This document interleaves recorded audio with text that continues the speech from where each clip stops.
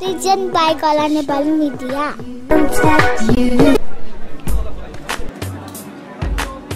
वरिष्ठ नृत्य निर्देशक वसन्त श्रेष्ठदाईलाई म सम्मान व्यक्त गर्न चाहन्छु। हामीसँग आमा हुनुहुन्छ उमा खड्का। म उहाँलाई पनि अगाडि आमन्त्रण गर्छु। किनकि आमा भन्ने बित्तिकै सबै कुरा जोडिएर आउँछ। आमाको स्थानमा कोही पनि पुग्न सक्दैन र आमाको शुभ आशिष जसलाई हुन्छ सफल त्यही नै बढी हुन्छ जस्तो मलाई लाग्छ। र त्यो आशिष छोरीमा सधैँ छ त्यो टिममा छ। आज फाइनली हाम्रो फिल्मको हजुरहरूले यो ट्रेलर हेरेपछि केही उसँग हामीलाई माया र आशीर्वाद दिनुहुन्छ अझै धेरै माया गर्नुहुन्छ भन्ने मैले अपेक्षा लिएको छु।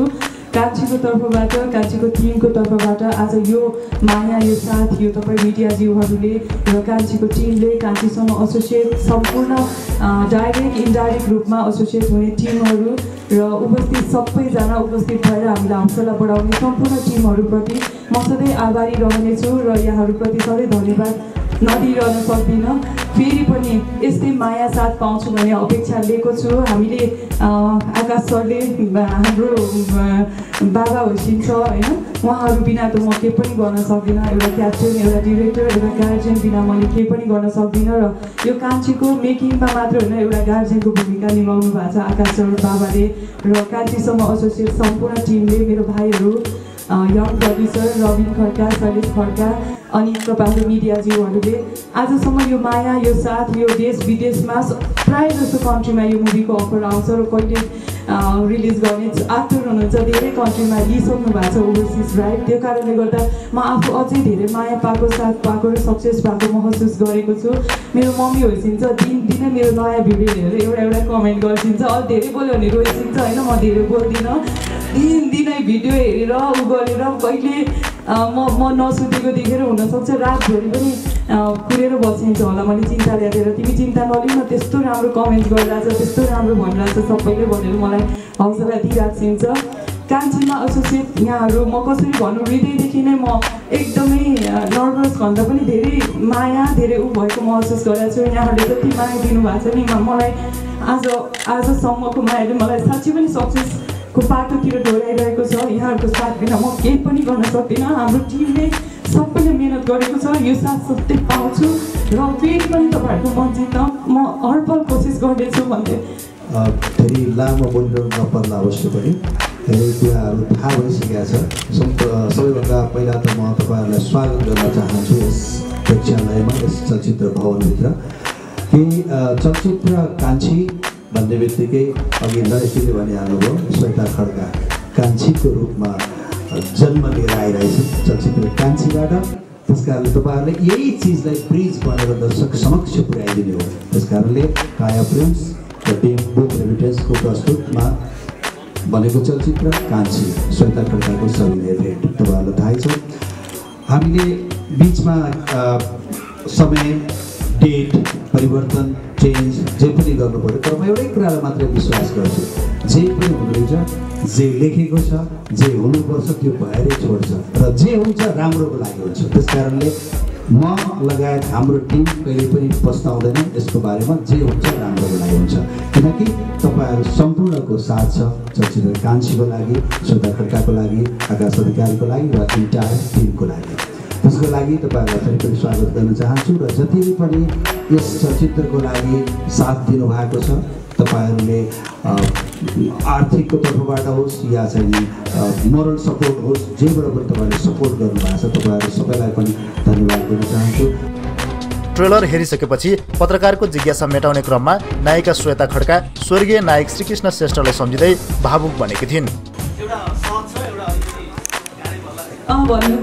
हजुर। हजुर हजुर। हजुर।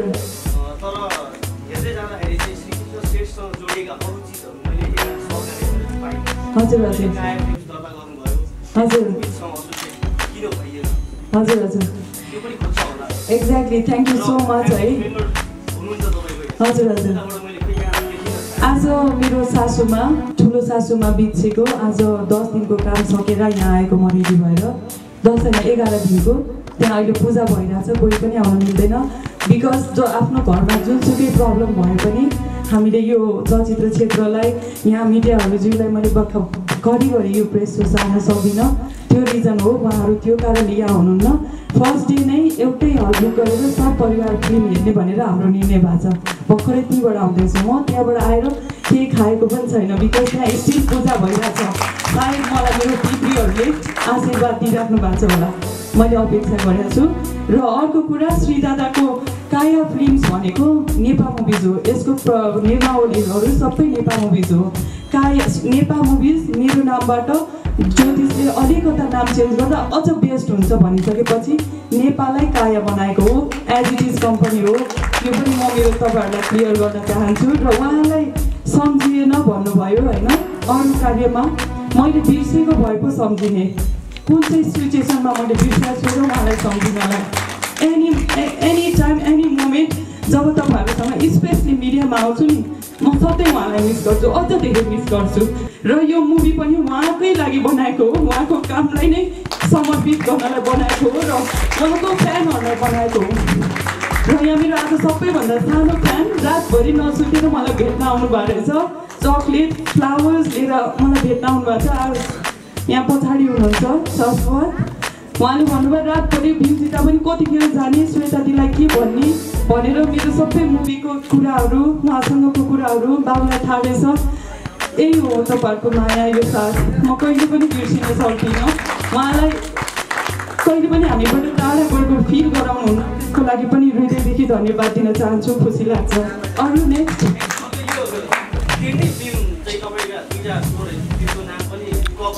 हजुर।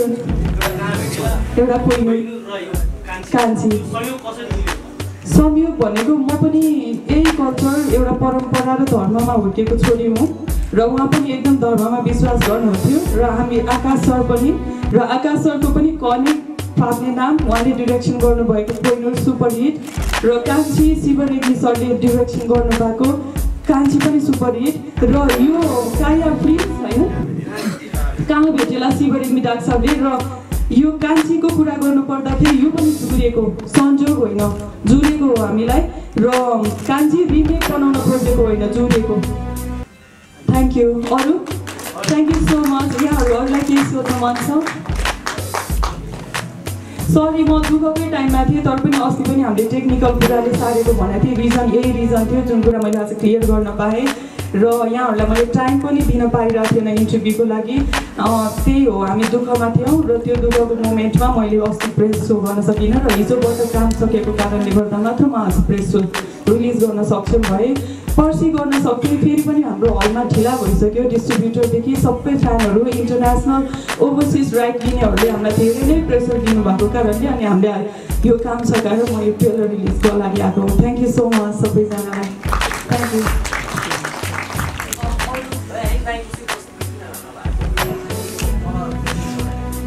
दया दाई? दाई अस्ति हाम्रो टेलर क्यान्सल भएको थाहा छ है यहाँहरूलाई? अस्ति रिलिज हुने भनेर भनेको थियो। त्यो रिलिजको लागि उहाँ सबै काम छोडेर हङकङबाट यहाँ ल्यान्ड हुनुभएको थियो। तर त्यतिखेर टेक्निकल प्रब्लमले हाम्रो टेलर रिलिज भएन र यो रिलिज टाइममा दाईको घरमा फुल पूजा भइरहेछ भन्ने इन्फर्मेसन दिनुभएको छ। वीरगन्जमा एउटा प्रोग्राममा थिएँ र त्यहाँबाट आउन यो फ्लाइटको कारणले अलिक असर भयो भन्ने हामीलाई जानकारी गराउनु भएको छ र उहाँले अर्को रमाइलो कुरा गर्नुभएको छ। टेलरमा म उपस्थित हुन पाएको छैन त्यो फिल्म सुपर हिट भएको छ श्वेताजी डन्ट वरी भन्नुभएको छ। त्यो कारणले मलाई यति खुसी लागेको छ कि दया दाईको उपस्थिति नभएकै राम्रो भयो। यो मुभी हिट हुने सङ्केत हो यसको लागि मलाई एकदम खुसी लागेको छ।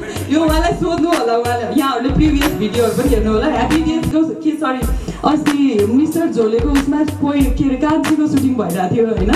अनि दाइ कबड्डीमा नि भने थिएन नि म अनि यसमा भने मन थिएन अरे कि त्यसो कान्छी हिट भनेर मैले आनन्द मानेको थिएँ उहाँ आयो पनि केही छैन हजुर अरू पहिलो गीतमा आउनु भएको थियो उहाँ होइन अब प्रिमियरमा पनि आउनुहुन्छ पर्सि हाम्रो तेइस गते म्युजिकल नाइट हुँदैछ अन्नपूर्णमा होइन जुन चाहिँ श्वेताश्री फाउन्डेसनको लागि fund raising program plus Kanchhi musical night कान्छीको सबै एक्टिभिटिजहरू लाइभ हुँदैछ यहाँहरूको उपस्थित हुनेछ त्यतिखेर धेरैभन्दा धेरै जानकारी गराउनेछौँ अझ हाम्रो पार्टनरहरूलाई प्रमोसन्स पार्टनरहरूलाई हामी त्यहाँ टोकन अफ लभले सम्मान गर्दैछौँ धेरै एक्टिभिटी छ श्वेताश्री फाउन्डेसन र कायाको एसोसिएट त्यहाँ अझ धेरै डिटेल्समा हेर्न पाउनुहुनेछ यहाँहरूले सिक्स फेबमा फेब सिक्समा नाइटमा हुन्छ यो प्रोग्राम एनटिभीले लाइभ गर्दैछ सबैजनाले एनटिभी हेर्नुभयो भने चाहिँ लाइभ हेर्न पाउनुहुन्छ थ्याङ्क यू हजुर